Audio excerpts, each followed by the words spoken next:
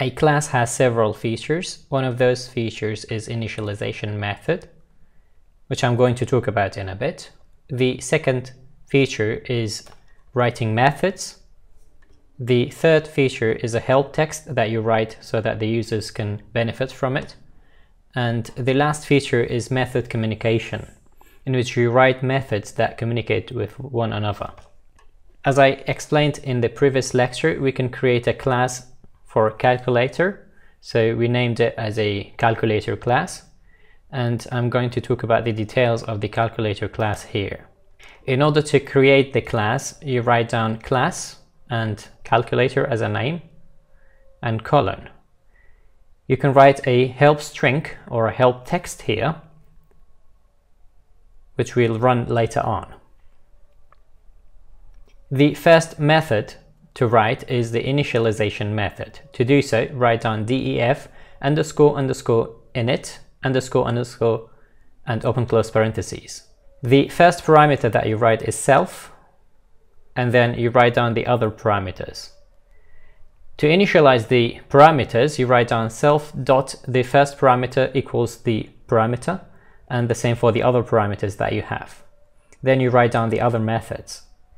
The first method that we are going to use is addition method in order to add and sum numbers together. For every method, you can write down help text like the help text we wrote for the calculator class. You can say that this is an addition method. It can provide the sum of entered values or endless number of values. This is a text that helps the user to understand what the method is about.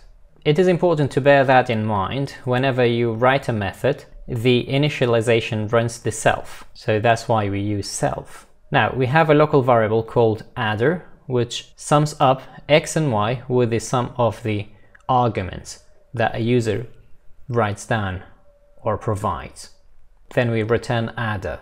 We can do the same procedure for subtraction, multiplication, and division methods. We write a text here as a help text, then we declare a variable, and this variable is called sub, which subtracts one variable from the other. Then return sub. The third method is multiplication, which multiplies x by y, and you can write help text as well here, and follow this text by the method itself.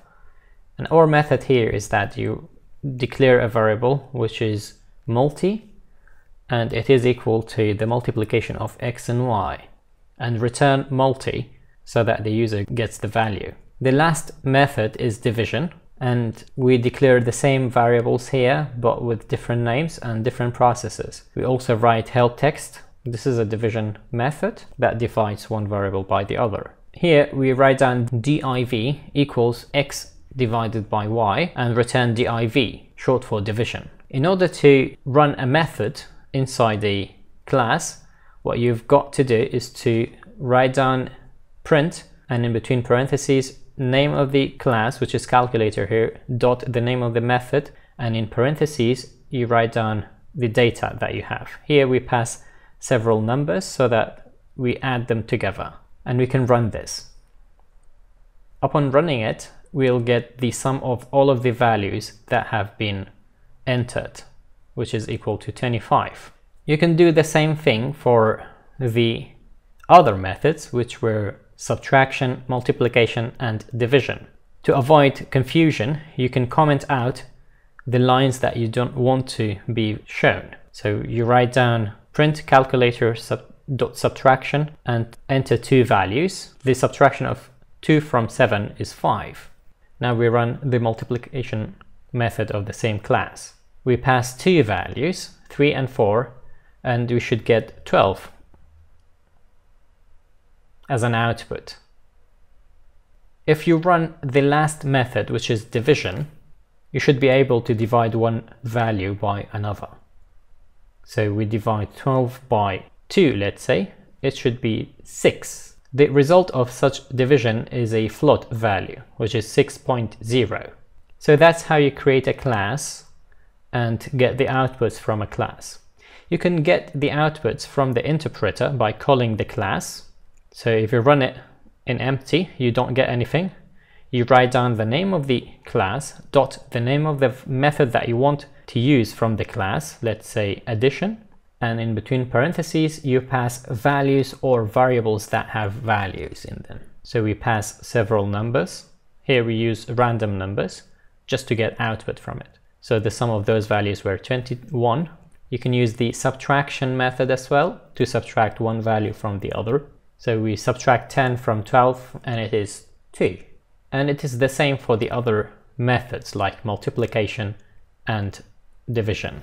You can also use help function inside your class and the syntax of such process is writing down the term help followed by the name of the class in between parentheses.